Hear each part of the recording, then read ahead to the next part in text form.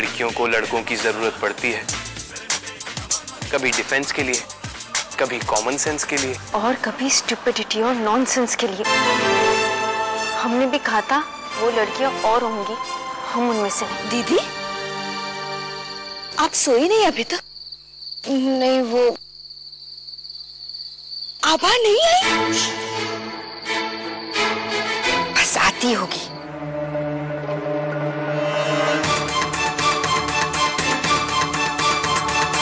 ये लीजिए, पानी पी लीजिए। नहीं भाभी, हमें नहीं चाहिए, आप ही पी लीजिए। ठीक है, मैं ही पी लेती हूँ। वैसे भी, फ़िक्र के मारे मेरा गला जो सूख रहा है।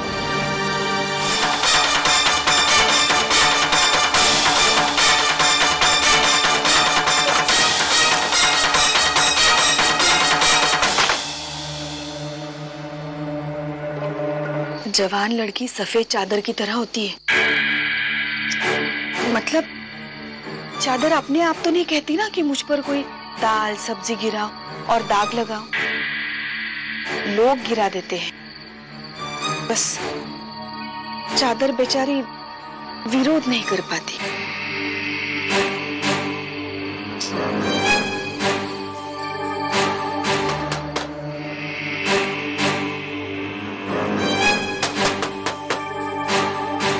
दरवाज़ा खोलो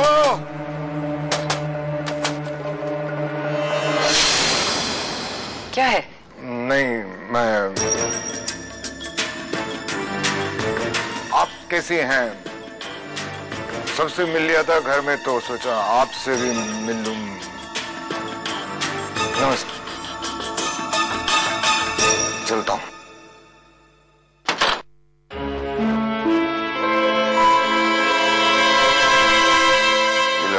माताजी कैसे बन गई?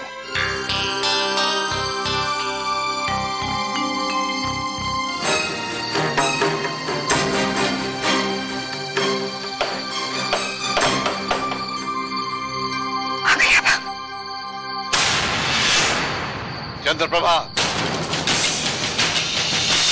आप दरवाज़ा नहीं खोलेंगी।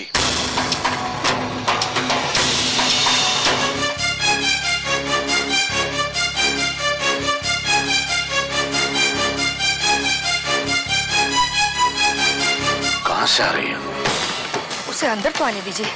ऐसे दरवाजे पे बात करेंगे तो लोग क्या कहें? जिस बाप की बेटी आधी आधी रात के बाद घर लौटे उस बाप को तो लोगों की बातें सुननी ही पड़ेंगी। हमें माफ़ कर दीजिए। आज काम पे ज़्यादा देर हो गई। काम? एनजीओ में पढ़ाना हमारे लिए काम ही है ना। हमने तुम्हारे सामने एक शर्त रखी थी स्वर्णारा कि जिस दिन सूरज ढलने के एक घंटे पहले तुम घर नहीं आओगी उस दिन के बाद तुम घर से बाहर नहीं जाओगी। आपको जो भी कहना है। याद है ना स्वर्णाभा तो आज आज हम अपनी उस शर्त को तोड़ते हैं।